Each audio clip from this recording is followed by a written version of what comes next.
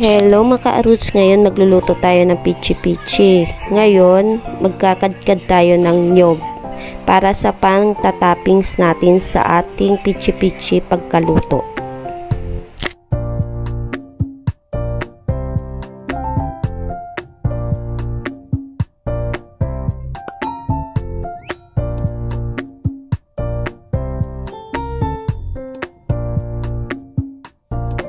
Ngayon gagamit tayo ng kasaba grated na 8 cups.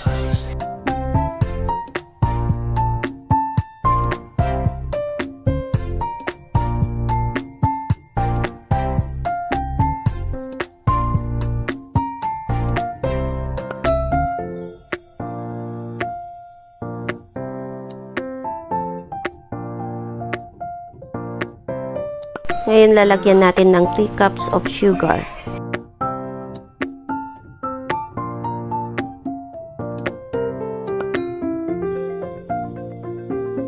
Sunod, lagyan ng 8 cups of water. Na ilalagay natin ang vanilla, 2 tablespoon.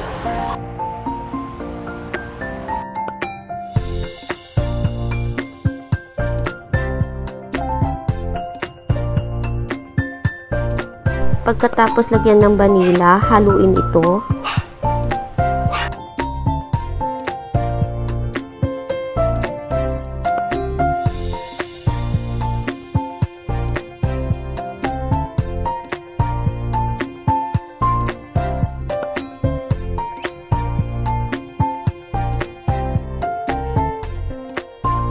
Pagkatapos haluin, isunod naman natin ang 2 teaspoon lihiya.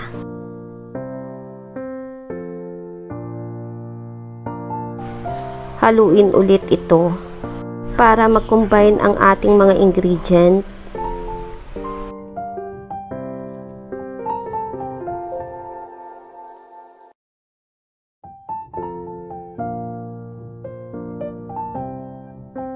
Pagkatapos haluin, lagyan natin ng food color na yellow para maganda ang kulay pagkaluto. Pero pwede mo ring hindi lagyan, depende sa iyo kung gusto mo o hindi. Kaya haluin lang ito ng mabuti. Habang nire-ready mo ang mixture ng pichi-pichi, kailangan nakapagpakulo ka na ng tubig para sa ating pag steam ng ating pichi-pichi. Hindi nga pala tayo gagamit ng photo molder sa pagluluto ng ating pichi-pichi, kundi baking pan para hindi tayo mahirapang maghugas. Ayan, pinahirang ko nga pala ng mantika ang ating baking pan para hindi dumikit ang ating pichi-pichi kapag naluto ito. Ilagay na natin ang mixture ng ating pichi-pichi sa baking pan.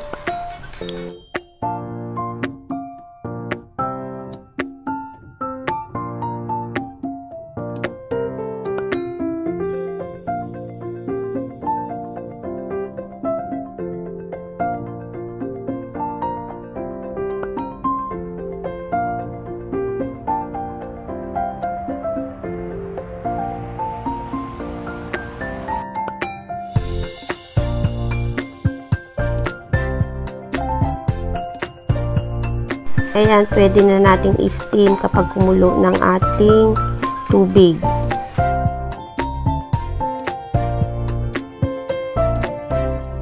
Kapag kumukulo na, pwede na natin ilagay ang pichi-pichi mixture. Dapat mahina lang ang ating apoy sa pagluto ng pichi-pichi. At i-steam lang natin ng 35 minutes.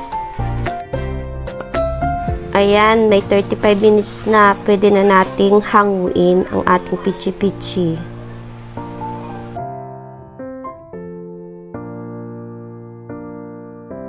Ayan na ang ating pichi-pichi. Malamig ng ating pichi-pichi, pwede na nating lagyan ng niyog.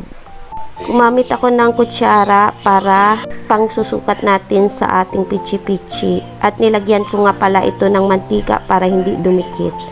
Ayan ang ating yog na pambabalot sa ating pichi-pichi.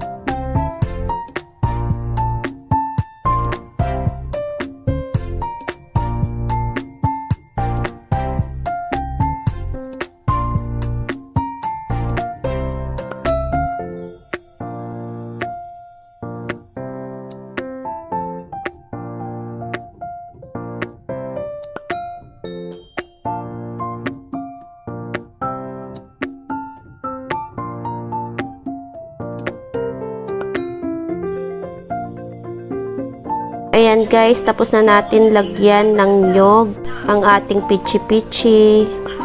Ayan guys, tapos na.